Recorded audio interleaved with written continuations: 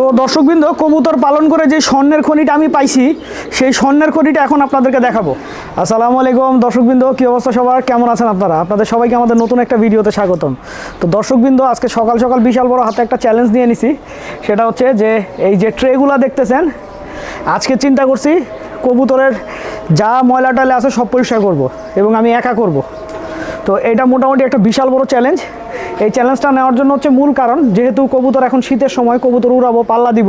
তো এখন যদি আসলে নিজে ট্রে পরিষ্কার না করি, তাহলে কবুতরের অবস্থা বুঝব না। এই যে যেমন দেখেন, এই যে দেখেন কবুতরের পটিগুলো, এই যে এই পটিটা খারাপ, দেখছেন? এই যে এই পটিটা দেখতেছেন, এটা খারাপ। আচ্ছা তারপরে আবার মনে করেন, এই এগুলা ভালো আছে, এইখানে আবার খারাপ আছে।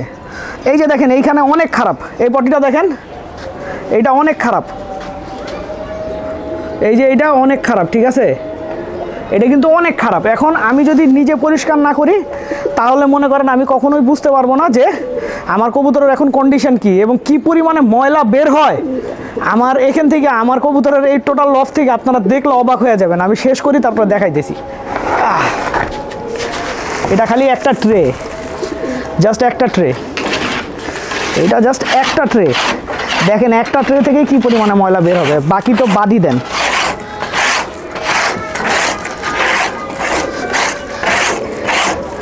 এই ট্রেতে আমি যেটা বুঝতে পারলাম, আমার কিছু কবুতরের কিছু কবুতরের পটিতে একটু প্রবলেম আছে।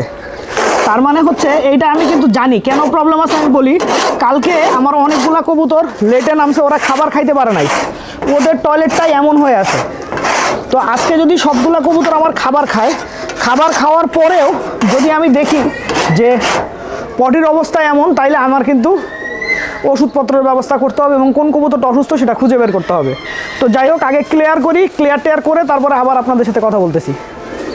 দর্শকবৃন্দ, ঘাম দেখে অবশ্যই বুঝতে পারতেছেন যে আমার এই ময়লাগুলো পরিষ্কার করতে কী পরিমাণে প্যারা গেছে। এই যে দেখেন, এতগুলা বাইর হয়েছে দেখছেন? এই জিনিসের জন্য কবুতর পালতে ভাই মন চায় না। কি যে কষ্ট। ও বাবা রে বাবা।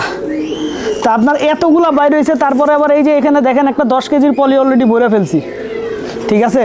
আমি একটু ভরি, ভরলে দেখেন কি পরিমাণে হয়। এর মধ্যে মুরগি চালাইতেছে খালি।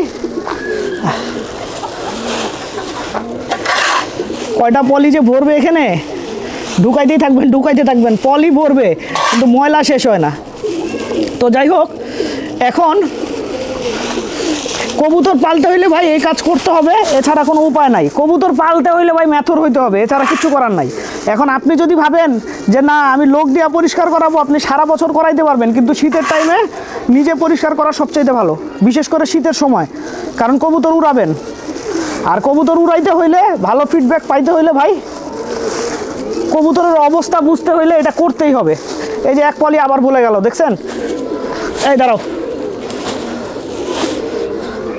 কয়টা পলি ভরে খালি দেখেন ভাই। কষ্ট হয়, কবুতর পালতে ভাই কষ্ট লাগে, কিন্তু কষ্ট দেখে আসলে, কষ্ট দিয়ে তো আসলে আর কাজ আর কষ্ট না করলে তো আর কেষ্ট পাওয়া যাবে না, ঠিক না?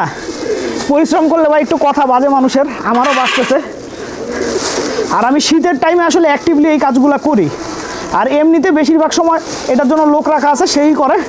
কিন্তু শীতের টাইমে ভাই আমার নিজের করতে হবে। আর পরিষ্কারটা নর্মালি আরও রেগুলার করতাম, এখন আসলে পারতেছি না। এখন আসলে ওভাবে সম্ভব হচ্ছে না। তো মোটামুটি আমাদের কাজ একটা অবস্থায় আসছে। এর মধ্যে মুরগিগুলো আমাকে বারবার বিরক্ত করতেছে। বারবার বিরক্ত করতেছে। মুরগি অবশ্য খারাপ কিছু করতেছে না। মুরগি যে কাজটা করতেছে, সেটা হইতেছে যে এইখানে অনেকগুলা গম, অনেকগুলা ভুট্টা আছে, ওইগুলো আসলে বাইচা বাইচা খাইতেছে।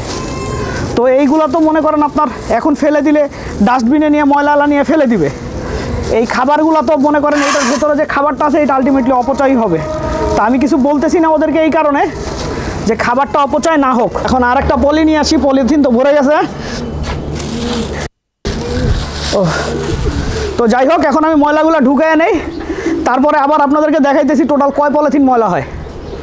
তো দর্শকবৃন্দ, কবুতর পালন করে যে স্বর্ণের খনিটা আমি পাইছি, সেই স্বর্ণের খনিটা এখন আপনাদেরকে দেখাবো।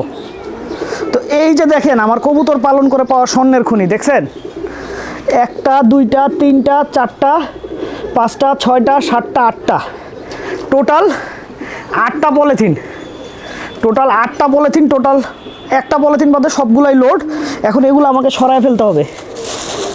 খুব বেশি কঠিন কাজ মনে হয়েছে তা না ভাই, এমন আহামরি কঠিন কিছুই না, সহজই কাজ। তো আপনার আরেকটা ব্যাপার হচ্ছে কি, পরিষ্কার করার জন্য যেসব যন্ত্রপাতি দরকার হয় পরিষ্কার করার জন্য যেসব সরঞ্জাম দরকার হয়। এই যে বেলচা, তারপর অন্য অন্য জিনিস যেগুলো আছে, এগুলো যদি আপনার থাকে, ভাই, এগুলো পরিষ্কার করা কোনো ব্যাপারই না। ঠিক আছে? তো দর্শকবৃন্দ, ভিডিওটা এখানেই শেষ করছি। আর দোয়া করবেন, এবছর জন্য কবুতরগুলো ভালো কিছু করে দেখায়। আল্লাহ সবাইকে ভালো রাখুক। আসসালামু আলাইকুম রহমতুল্লাহ।